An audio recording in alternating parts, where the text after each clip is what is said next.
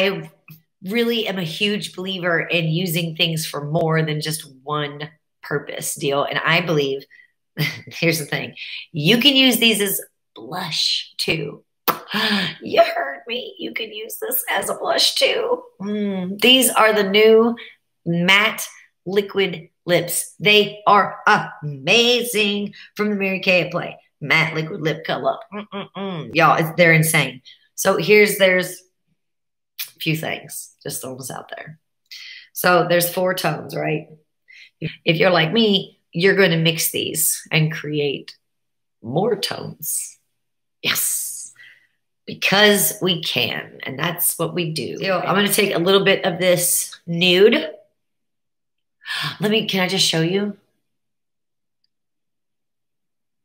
All right, right? Mm-hmm, mm-hmm, mm-hmm.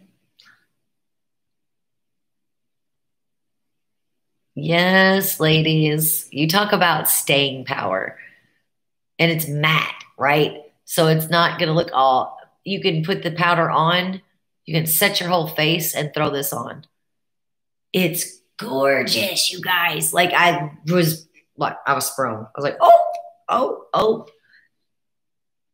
I love these.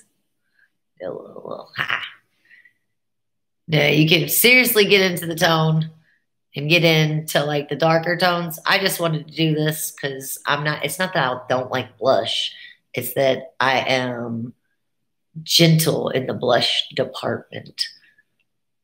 So those other ones are a little bit too strong for my liking, not my skin tone, not anything of that other sort. It's because I don't like it that bright and dark, if that makes sense.